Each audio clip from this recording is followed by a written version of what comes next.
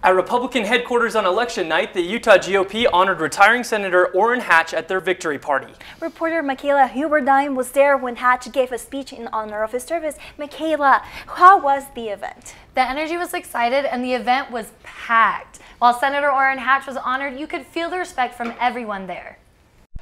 Him uh, a lot of thanks for a lot of uh, long, hard years.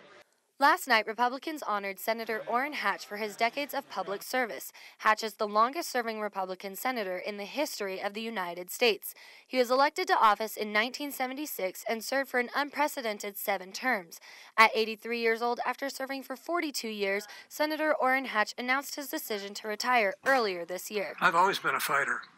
I was an amateur boxer in my youth, and I brought that fighting spirit with me to Washington.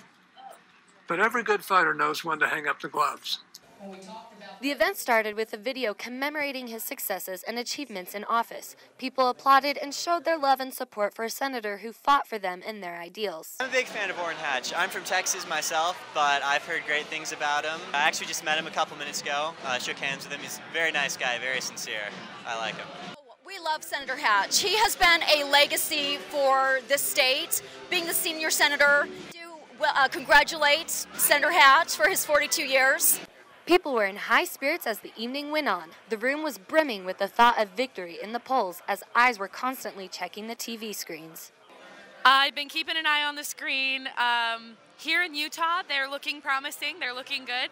Uh, across the country, it's still anybody's game. And Senator Orrin Hatch did not stay long, but took the time to talk and take pictures with people at the event. Senator Hatch plans to spend more time with family now that he is retired. Thanks, Michaela.